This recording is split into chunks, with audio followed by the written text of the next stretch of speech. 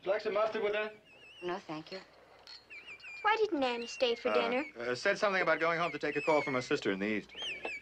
What's the matter with them? What's the matter with all the birds? Where'd you want this coffee? Uh, in on the table, honey. Hurry up with yours, Mitch. I'm sure Miss Daniels wants to be on her way.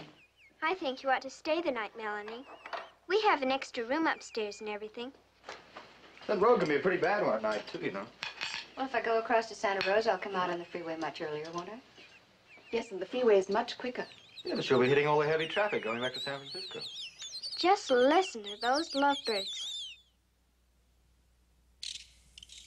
Mitch.